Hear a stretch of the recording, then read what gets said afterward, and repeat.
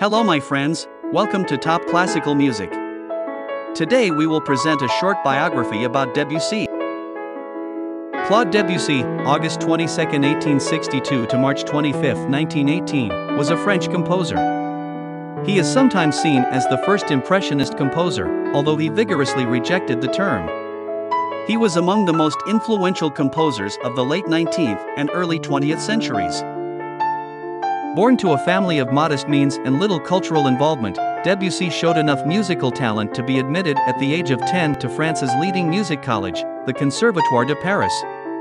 He originally studied the piano, but found his vocation in innovative composition, despite the disapproval of the Conservatoire's conservative professors. He took many years to develop his mature style, and was nearly 40 when he achieved international fame in 1902 with the only opera he completed, Pelléas et Mélisande. Debussy's orchestral works include Prélude à l'après-midi d'un faune, nocturnes, and images. His music was to a considerable extent a reaction against Wagner and the German musical tradition. He regarded the classical symphony as obsolete and sought an alternative in his symphonic sketches, La Mer.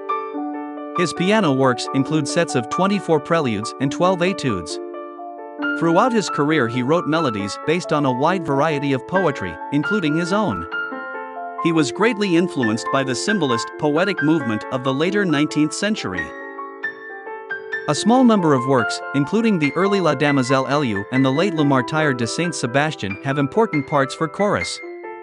In his final years, he focused on chamber music, completing three of six planned sonatas for different combinations of instruments.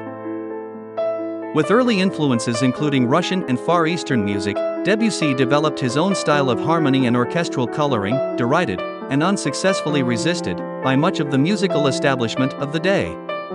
His works have strongly influenced a wide range of composers, including Bela Bartok, Olivier Messiaen, George Benjamin, and the jazz pianist and composer Bill Evans. Debussy died from cancer at his home in Paris at the age of 55 after a composing career of a little more than 30 years. Well, that's all for today. See you in the next video.